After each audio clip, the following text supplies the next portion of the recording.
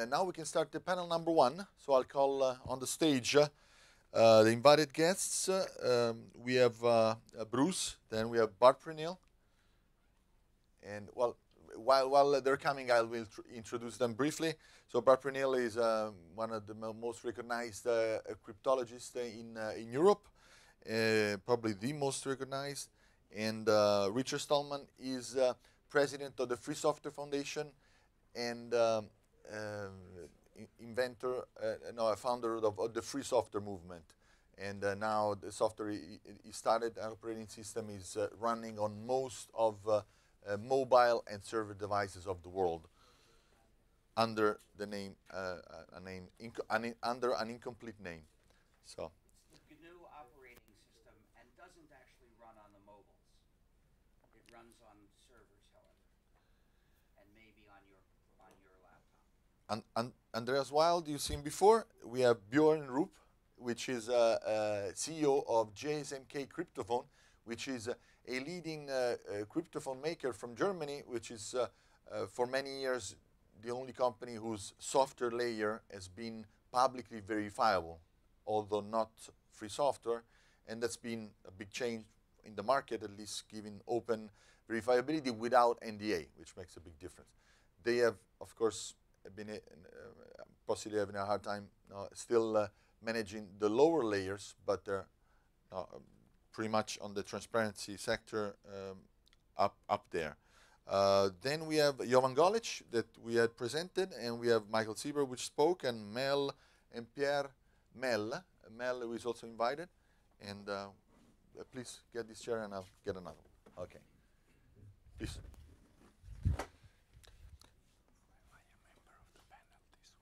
What's that? Um, So uh, I think we have enough chairs. Okay.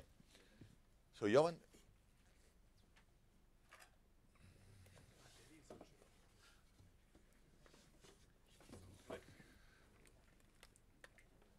Um, Okay, we have uh, quite a big panel. I think uh, they don't get uh, bigger than this. Uh, no, the the um, the, uh, theme was of interest, uh, and so many wanted to intervene. So I I will invite um, you know very short uh, interventions. You know about three four minutes, kind of a flash on on the um, on the theme, and uh, I will keep on on on uh, on the screen the, the the theme now that we're discussing. And uh, so I'll, I'll probably start in the order in which we're seated, um, or um, or maybe uh, Michael, you wanna you want to, do you want to start? Um, okay, I, gue- I guess that we could have uh, um, a start. I, I, I think that Bart uh, could be a good uh, choice to frame uh, this uh, discussion as it's been uh, dealing more uh, deeply on uh, the overall picture of these issues. How many Bart? minutes do we each get? Well, I, I would say uh, about, oh yeah, here you go. So I, I would say three to five minutes, and then uh, we have about uh, an hour, uh, an hour for the panel. Thank you, Rufo, and good morning. So I just want to say a few things. Uh, I think Bruce gave a very good introduction to what we need. What we need is trust, and I think what we lack in Europe actually is trust. I think I'm actually quite surprised as an academic that after the Snowden revelations there was not more response from Europe. And of course, Europe is never fast. We know that already. It takes always a long time. But also, we don't seem to trust each other as nations. I mean, what we also saw in the Snowden documents, of course, is that nations are spying on each other. They've always been doing this, but now they're also hacking each other. But the European nations don't trust each other. And even very simple things are difficult. To give you one example, and I don't think, as a, I'm a cryptographer, I come off cryptography, I don't think it's the most important thing, but it's a simple thing we need to agree on. And so, first observation is some of the most important cryptographic standards were developed in Europe, but selected by NIST. And Europe had no voice there. In fact, great job from the Belgians, but in the end, the Americans decided which one would win. And several European nations have lists of recommended cryptographic algorithms. It's just simple advice to banks, insurance companies, hospitals, how many key bits you should use and which cipher you should use. It's just basic standard advice. It's all national. There is no European advice. So 11 years ago, in Network of Excellence, we decided to produce such a European document that would tell banks and governments and insurance companies and, and so on what the recommendations were. And every year we updated this. Our Network of Excellence stopped in 2013, and then ENISA took over this document and found some people to produce this document, which is widely used to actually give advice. You know what happened this year? Some nations asked ENISA to unpublish this document. To unpublish a document saying how many key bits you should use. And in fact, this document has been removed from their work program.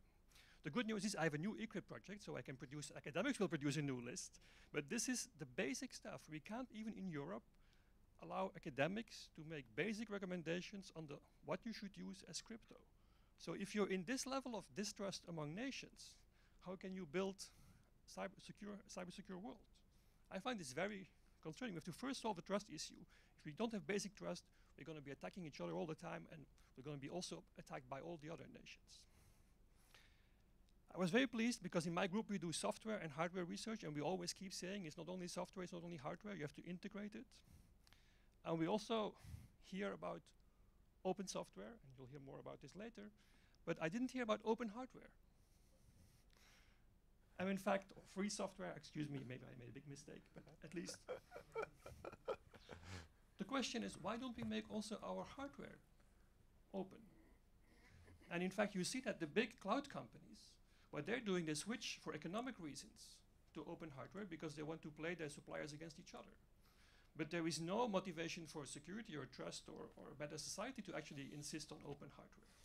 I'm not saying everything should be made public or available, but at least some core components we should be able to also openly inspect. And the final point I want to make um, is the fact that you saw the quote by Bruce, in fact, that the current internet is funded by surveillance, um, advertising-driven business model, profiling-driven business model. So this is how money is being made. So if we want to change this, we have to weigh the, change the economics. If we're just gonna change technology, is not gonna happen. We can make beautiful solutions, but if we don't change the business model, it's not gonna change anything. So I think we need new architectures, but those architectures will not, not happen unless we change regulation. And one very naive idea would be that, you know, you collect bytes of information, most of us are being breached, large corporations are being breached regularly. What if you know you pay one euro per byte that's breached? Maybe companies would stop actually collecting all this information. Of course, it's maybe naive. I'm not a lawyer. It's very naive view of an academic. But I think if we don't start from the regulation, we will not be able to actually change technology. I'll leave it there. Thank you. Um, okay, great. Um, as far as order, I will follow uh, the order uh, as it's written on the paper. So the next in line is uh, Richard. Richard is your, your next uh, to talk and uh, take on uh, the challenge. Okay, first I'll respond to a few points that have been made. One thing is, I advocate free software, free as in freedom, logiciel libre, vrije software. Uh, the point is, the user's freedom, the software should respect users' freedom. The users should be in the ones who control what the program does, not somebody else, the owner. And you can do this for hardware designs too. Hardware as such can't be Libre in this sense because once it's made as hardware, you can't change it, nobody can change it. But the hardware design is a work that can be edited and copied just like a program. So I think free hardware designs is a good thing. For more information, see gnu.org slash philosophy slash freehardwaredesigns.html. Now, since you mentioned a great hero, Edward Snowden, there's something that it's my duty to say. Three cheers for Edward Snowden. Hip, hip, hooray. Hip, hip, hooray. Hip, hip, hooray. We need to say this because officials in the U.S. are still trying to demonize him. They call him a criminal when they, in fact, are the criminals. And they accuse him of violating his oath. He's the only one in that whole apparatus that kept his oath to defend the U.S. Constitution from all enemies, foreign or domestic.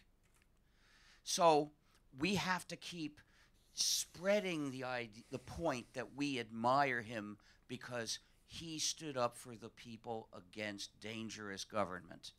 Of course, we know that other governments snoop on people as well, and in fact, it's in the U.S. that there's been the most resistance to this. It's shameful the way a wave of governments around the world have legislated that they can snoop on anybody in any way at all, and there are no checks anymore. But that's what's happening. They figured that they would act first before the people got organized to say no. And of course, corporations do work with, with the governments. It all adds up to spying. so I'd like to question the phrase constitutionally meaningful levels of trustworthiness. And the reason is when I judge what systems I can trust, it has almost nothing to do with the Constitution of the U.S. or whatever country it might be. That's not where the criteria for trustworthiness come from. They have something to do with what human rights we can legally claim.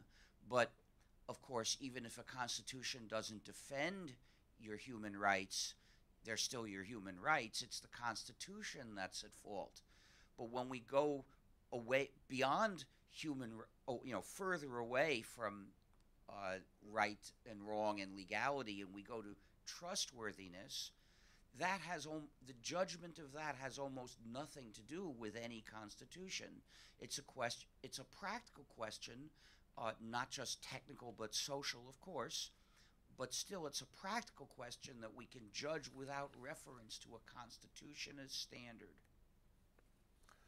Um, okay, thanks, Richard. And Richard will have a full keynote after this panel. And next on is uh, Andreas Wild. Thank you. I'm going to take um, something very risky now because I'm going to speak a little bit about trust in front of an eminent specialist that gave us a wonderful inspirational speech on it. Thank you. Uh, I, I, want to highlight an aspect of trust that uh, did not come in that very short, very brief description.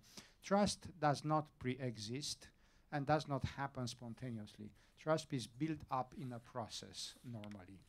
And um, some of the points that have been made here are basically uh, showing that we are still at the beginning or in initial phases of building up trust, maybe in a new environment in which we are finding ourselves or in a new activity at a societal level and so forth. And therefore, they are not norms, they are not, this is a work in process. I'll give a brief example from my organization. We bring together member states, and we have at this point in time 24 member states participating, the European Commission, and the private sector. It took about three years before we agreed among ourselves how to handle the, this extremely complicated beast in a halfway productive manner. Uh, it, it, was not because we do now something differently. It took that long until everybody involved started trusting the others around the table and accepting that we go by similar norms and we don't harm each other, we don't attack the neighbors, and, and so forth and so forth. So it took some time to get. Some of the talks you, you or the points you made, for example, on European not being enough European. Europe is work in progress.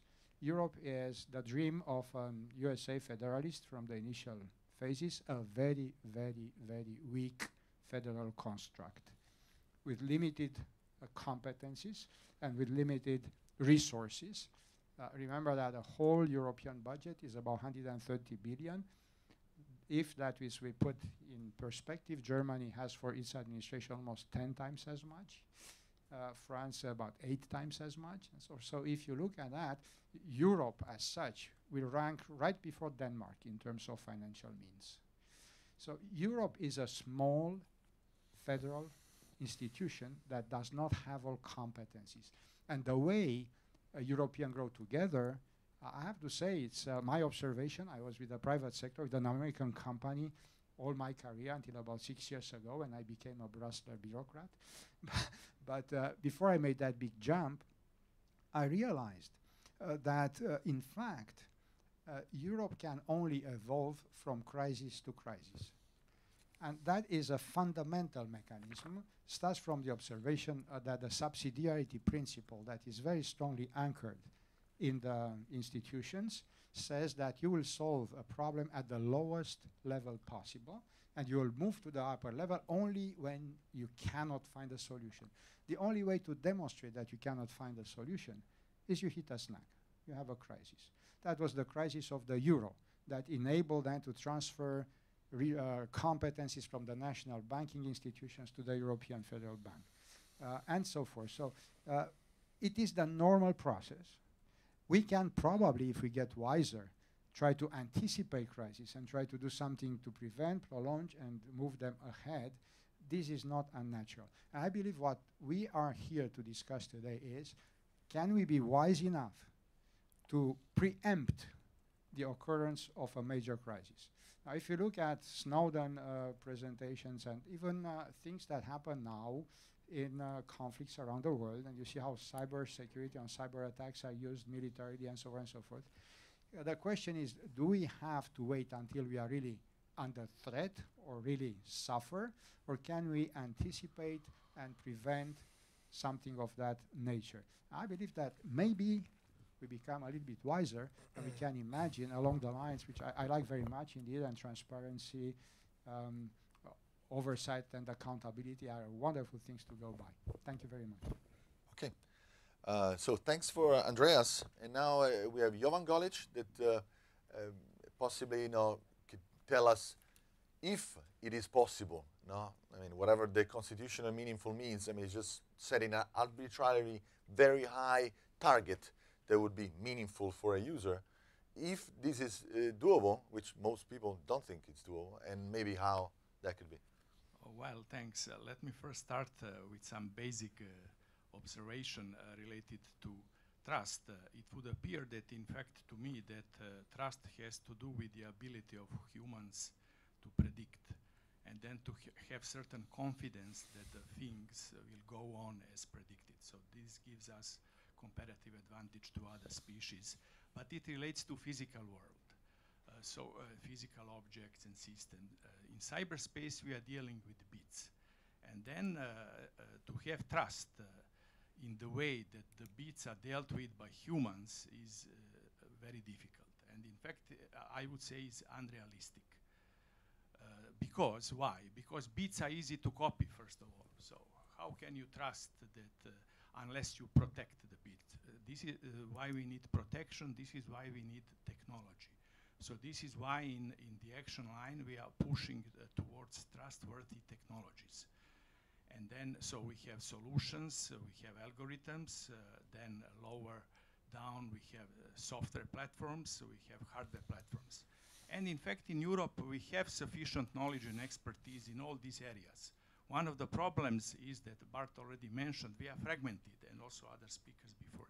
We are fragmented. We have great expertise in hardware security in uh, countries like Germany, like France, and others, but in fact, uh, and they all work on, uh, on standardization, but the processes are very slow there. So we need to speed up the processes, to have dedication and real intentions to improve things. I believe that they can do much better in terms of certification, first of all, and then also in terms of standardization to improve the current situation, which is not good terms of, of cybersecurity. Thank you. Okay, so thanks to Jovan. Next online is uh, Bjorn Rupp. Thank you. Um, since it's supposed to be an introductory statement, I'll keep it brief. Um, is it possible to achieve meaningful IT assurance? Yes. Why do I say that? Because I'm an optimist, otherwise I wouldn't have founded a company. Um, but uh, in order to achieve that, we have to make a few hard choices. Um, and that's often overlooked, even if all of us, even if everyone on this panel agrees on how these choices should be made, it doesn't mean that the rest of the population will necessarily agree um, or understand why these choices need to be made. And um, they involve things like higher costs for security and uh, they involve inconvenience. Um, obviously, if you want a super secure uh, environment, then you somehow need to detach it from an unsecure general purpose computing environment that uh, was developed without uh, rules in mind that uh, put security first. And uh, just to round this off, um, just think of the aviation industry, which has an excellent uh, record in maintaining high safety levels, but uh, the cost that you pay for that is pretty high. Um, first of all, innovation is only well incremental at best, and uh, of course uh, the cost is considerable. So, um, are we willing to trade, let's say, for instance, not getting the very latest features uh, on a daily basis? for a more stable, more well-founded, um, more robust, and more secure system. Th- these are the hard choices that we need to make, I believe. Great. Uh, thanks to Bjorn for this very uh, lucid uh, contribution. Um, next on line, Michael Sieber from European Defense Agency. Okay, thank you. So from an from a defense point of view, I would say uh, yes, we do want to have affordable, definitely, and user-friendly end-to-end IT services. Um, but that's full stop.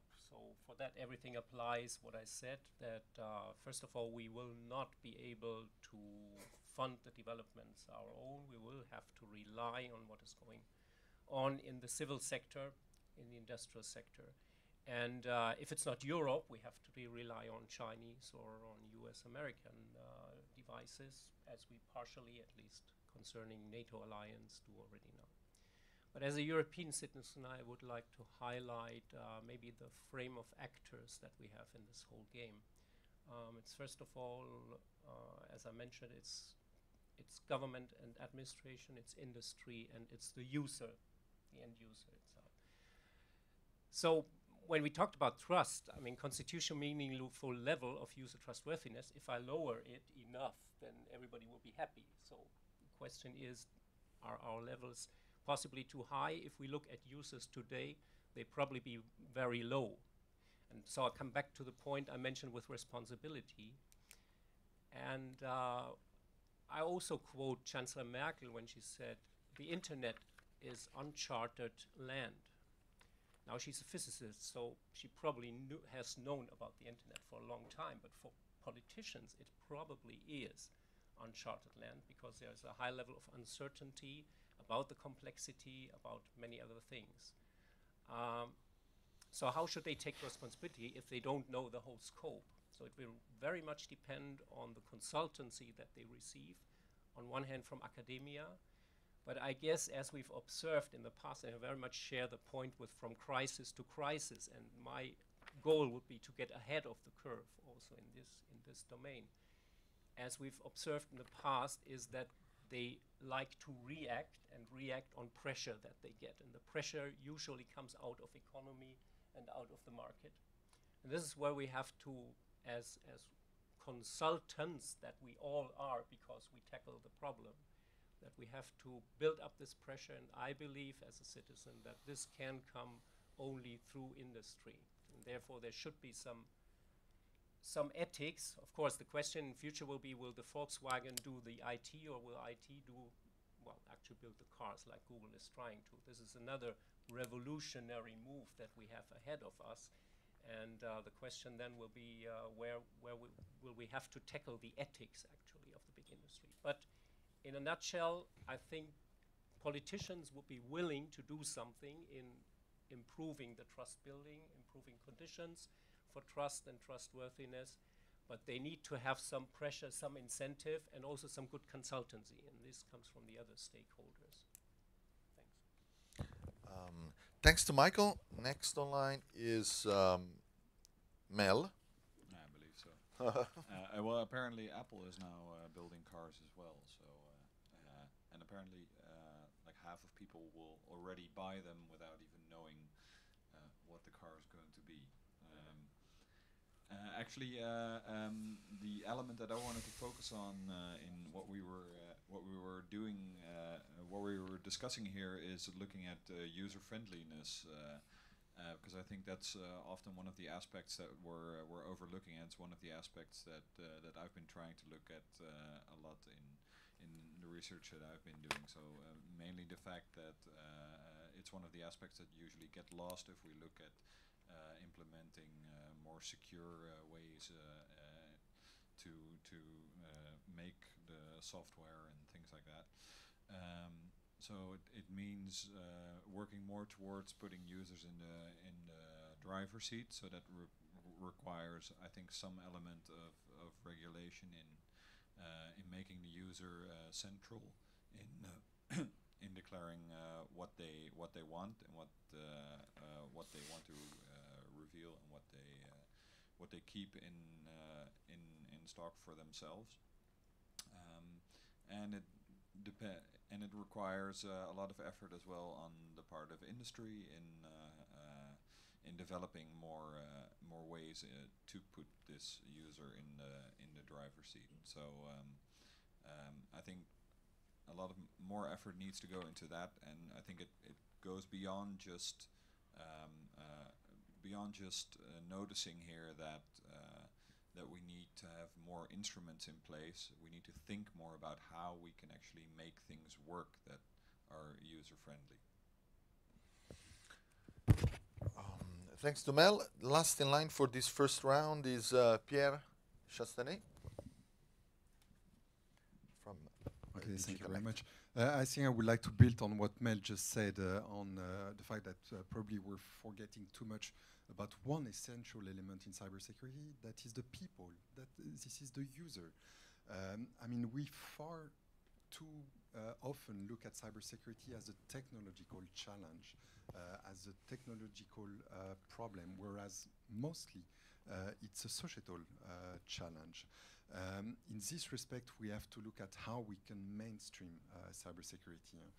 Uh, very often uh, uh, we look at cybersecurity from, there's this famous tri triangle where you, you look at um, the technology, the processes, and the, and the people. So a lot of emphasis is being put on technological development. Um, through a number of development, uh, more and more emphasis is being put on processes, especially uh, cybersecurity risk management. That's one of the uh, thing we're trying to address through the NIS directive uh, with uh, critical operators uh, in Europe that will have a mandate to put in place best practices in uh, cybersecurity risk management uh, for their uh, operation. That's an essential element. But there is also this third element, which is the people, the people. Um, usability of technological solution is absolutely essential. We have to look at mechanism to try to mainstream the usage of cybersecurity and privacy uh, solutions. Uh, we have to look at practical tools that people, that the average citizen, that the average SME can implement in an easy manner to use in their everyday life. Um, most of the users are non-technological people, and we have to facilitate uh, their usage of, uh, of these technologies. Uh, ENISA, uh, the European uh, Network and Information Security Agency, produced a report recently about security incidents in the in the telecom sector, and they looked at a broad variety of incidents that occurred in, in this sector, and actually very few are actually coming from cyber attacks. Uh, most of the incidents are occurring because of human errors. So is administrator that are wrongly configuring software, is people that are doing with administrator right that are installing the wrong app or doing the wrong um, uh, installation that eventually lead to either vulnerabilities or uh, systems getting down. So really a lot of emphasis need to be put uh, on um, on the people again across the, the value chain. So upstream among the IT administrators, um, IT um, uh, developers, software developers. There's a lot of uh, emphasis to be to be put on the people that are designing and engineering these systems to make them eventually user friendly and accessible for the for the ultimate users.